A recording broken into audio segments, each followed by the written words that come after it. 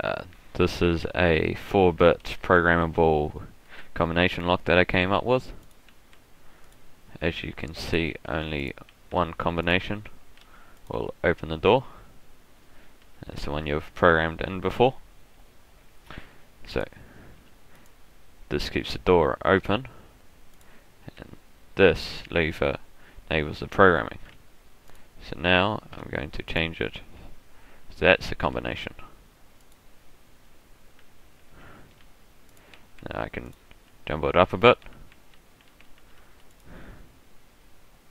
And now the door's open. Uh, closed. So the next person can't get out. And this will set whatever is currently there as the combination. So the door will stay open. Now let's have a look at how it's done.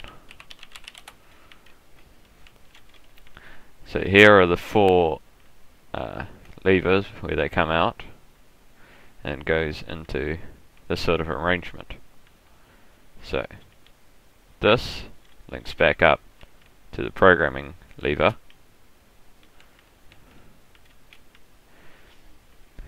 and here is two AND gates. So when this programming lever is on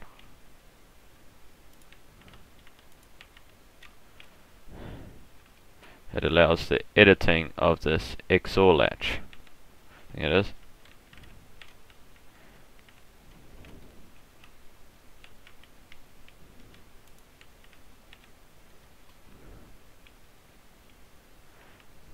And then when you turn it off, it stops the editing.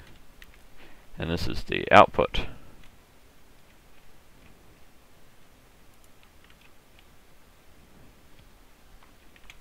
It then takes the output and goes through an XNOR gate with whatever the lever is at to see whether they're the same. It takes the from the uh, output of those two XNOR gates for the first two levers, takes it through an AND gate, then an AND gate between that and the other two levers, takes it all the way back here, and opens the door.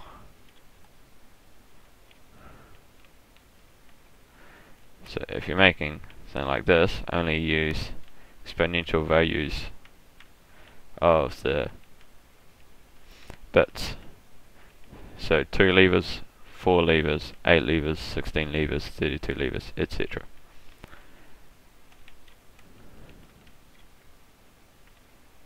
So it's relatively simple.